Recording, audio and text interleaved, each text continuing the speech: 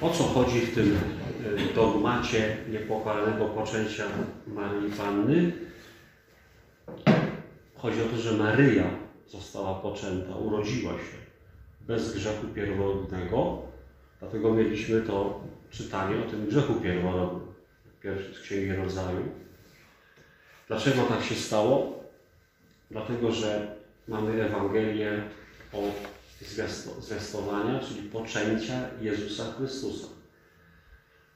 Dlatego, że Jezus Chrystus jest Synem Bożym, jest święty, e, jest nowym Dawidem, którego królestwo jest wieczne, czy jest wieczny, Syn Boży, ale On się stał człowiekiem z Maryi. I ponieważ jest święty, no to musiał ze świętej Matki wziąć swoje człowieczeństwo, stać się człowiekiem. Maria nie mogła mieć grzechu, pierworodnego ogóle grzechu, żeby mógł zamieszkać w niej Jezus. Teraz, żebyśmy coś skorzystali, rozumieli siebie lepiej, to przyjrzymy się drugiemu czytaniu z, y, do listu do Efezjan. Że w Chrystusie Jezusie, pisze święty Paweł, Bóg wybrał nas przed założeniem świata, abyśmy byli święci nieskalani przed Jego obliczem. Przed, przed grzechem pierworodnym ludzie tacy byli. Święci i nieskalani. I takie jest przeznaczenie Boga. Znaczy, przed grzechem pierworodnym była świętość, ale Bóg nas przeznacza do tej świętości w życiu wiecznym, czyli jakby po.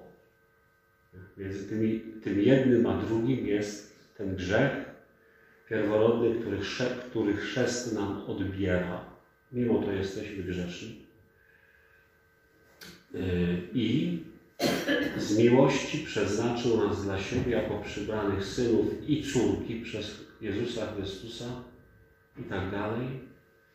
Yy, I dalej pisze, że dostąpiliśmy udziału w tej łasce Jezusa Chrystusa i znowu pisze o tym przeznaczeniu do świętości wiecznej chwały. Z góry przeznaczeni zamiarem tego, czyli Boga, który dokonuje wszystkiego zgodnie z zamysłem swej woli, byśmy istnieli ku chwale Jego majestatu. My, którzyśmy już przedtem nadzieję złożyli w Chrystusie.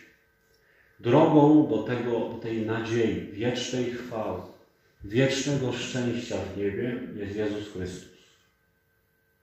Właśnie dlatego Jezus wszedł w łono Maryi. To jest człowiekiem.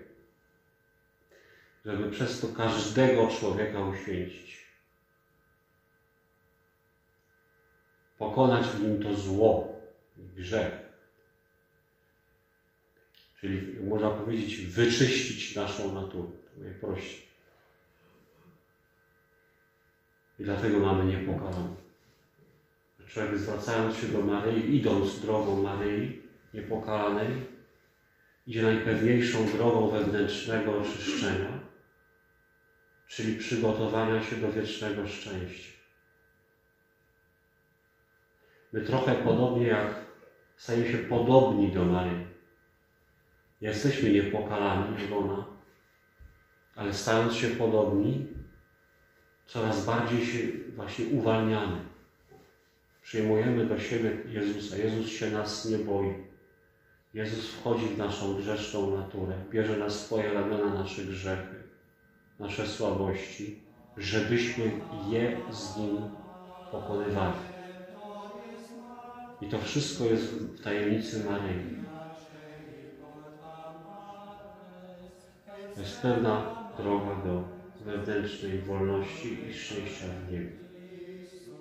Może nasz Panie, niech przyjęty przez nas sakrament uleczy nas z ran zadanych przez grzech pierworodny, od którego zachowałeś Najświętszą Maryję Pannę przez przywilej niepokalanego poczęcia.